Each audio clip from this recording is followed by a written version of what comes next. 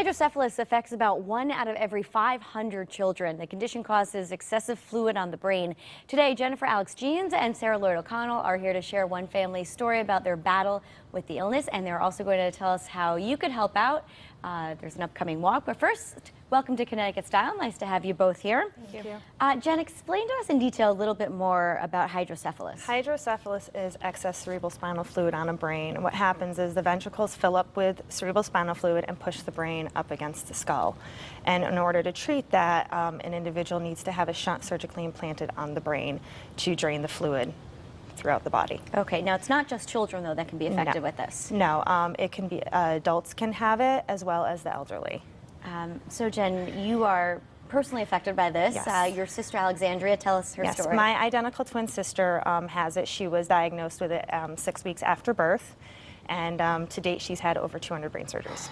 oh, how is she doing? Um, she's doing very, um, very, very well. She um, hasn't had a brain surgery in over seven years. oh, good. Um, now, Sarah, let's invite you into the conversation. Tell us about your son Brady. Well, my son Brady was diagnosed when he was three and a half months with hydrocephalus in March of 2011. And from March 2011 to July 2011, he had three surgeries, uh, one of them being the shunt implantation. And he's been surgery free since Oh, July good. 2011, knock on wood. In fact, we have some pictures. Let's put them up uh, on the screen. A picture of uh, him and his dad, I think, right? Yeah. and now you guys had buttons last year. In fact, you're We wearing the, one of the buttons. Yes, yes. At our um, second annual hydrocephalus walk last year, we had little buttons of Brady. Very nice. Now, who are we looking at here? Is That is my husband Tim and Brady. Oh, there's That's from Brady. last year's walk, the second annual. I understand he's quite the ladies' man. He is. He is. He has many, many girlfriends, Jen being one of them. Oh, it's great. And that is uh, Alexandria? Yes, that's me and my sister from last year's walk. We had uh, team shirts. Each uh, team at the walk has a shirt made, and last year we made tie-dyed shirts. That's great. Uh, so, Jen, why don't you tell me a little bit about this year's walk, when it is, and how people can get involved? Um, this year's walk is uh, Saturday, September 21st at Meadowview Park in Middlebury. And in order for teams to, or an individual to participate in the walk, they can go to www.walkforhydro.kintera slash org slash Connecticut, and anybody can register. Um, so everyone's invited, and Every- also invited to take uh, to buy these bracelets. Yes. Let me see those bracelets. Put those up for us. How pretty! Um, explain to what we're looking at. Blue is a, a color. Of, Um, the teal blue is the color of um, uh, the hydrocephalus ribbon, um, and what they are is each bracelet, um, 50% of the proceeds go to our walk. Um, we have children's bracelets, boys as well as men's, as, and uh, little girls.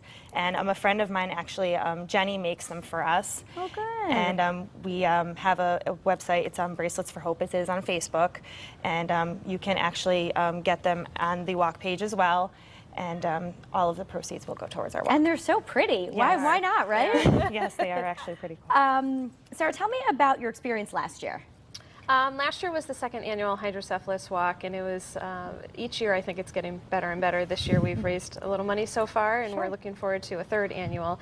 Um, but it, it's a great organization to come together and everybody support each other and have a lot of fun. Great. Um, we've had great weather so far the last Yeah, couple of years, so we're hoping for that. uh, Jen, just give us uh, one more time the date, the time, and how people can find Um, more info. It's September 21st at Meadowview Park in Middlebury, Connecticut. Registration starts at 9. It is a family fun event. We um, allow dogs, and Oh, good. everybody has a lot of fun. We have kids' activities, and um, we have Frankie's Hot Dogs again this year. Added bonus, right? And um, we have cupcakes, and um, Kohl's comes and donates for their volunteers, and um, you can go to www.walkforhydro.kintera.org slash Connecticut. All right, we'll find it there. Jen, Sarah, thanks so much for sharing your stories with us. Thank you. Thank you. All right, coming up next, we are heading over into the kitchen with Nancy Parent. Wait till you see these cupcakes. We're going to show you how to make them after the break.